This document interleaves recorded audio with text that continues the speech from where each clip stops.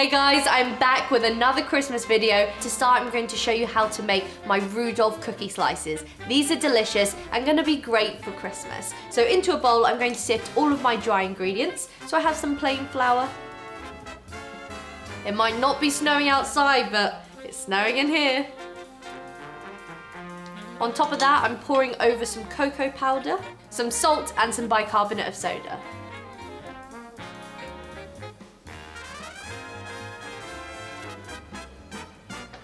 Once that's all mixed together, I'm gonna pop that on the side, grab another bowl and mix my two sugars and butter together. So I have some caster sugar and some soft light brown sugar. This is gonna give the cookie a really nice flavor.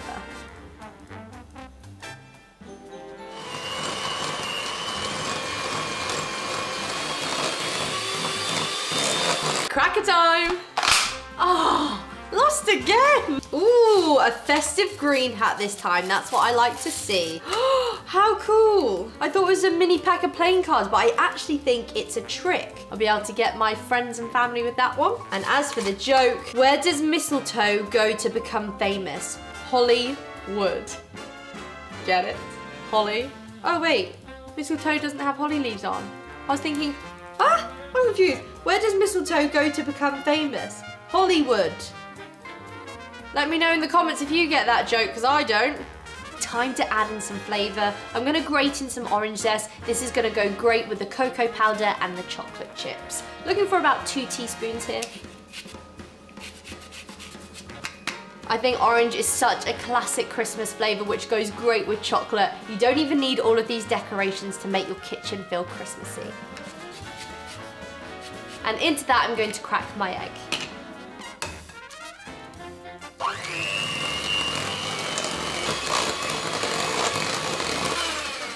That is now ready to get my dry ingredients added in gradually.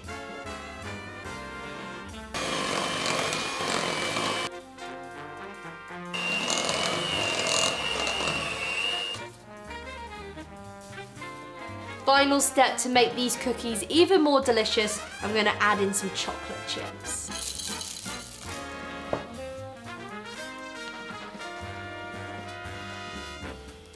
Now that my mixture is all combined, I can pour that into my baking dish.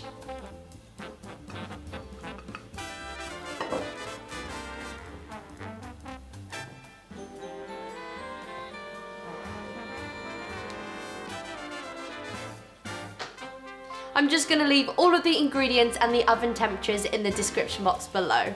That can now go into the oven. Cracker time! Let's see what we got, I won! Got a nice little blue hat there. If I didn't have mine on, I'll pop that on. Hey, one of those flying frogs. Let's have a go. Can't beat a classic Christmas toy. And let's see what joke we've got. What did Cinderella say when the chemist lost her photographs? Someday my prince will come. prince, prince, like it. Good old cheesy cracker joke. Now that my cookie has cooled, it's time to decorate the reindeers. Now I've cut my cookie into eight triangles and I'm going to give each of those a red nose and I'm just using a Smartie. And to help glue that on, I'm going to dip that into some white chocolate. I'm going to place that into the tip of each triangle.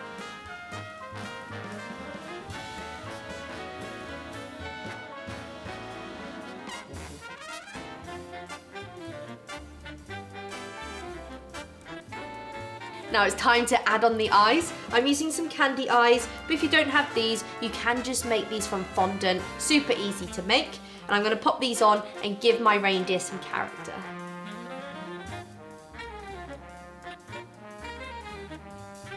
I love this part. I think it really brings the reindeers to life and gives them character.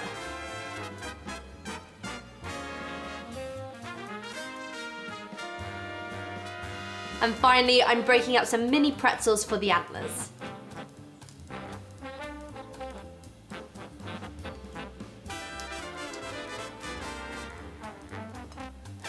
Adding on those antlers really brings them to life. I love it. So that is how you make my super cute reindeer cookie slices. Easy.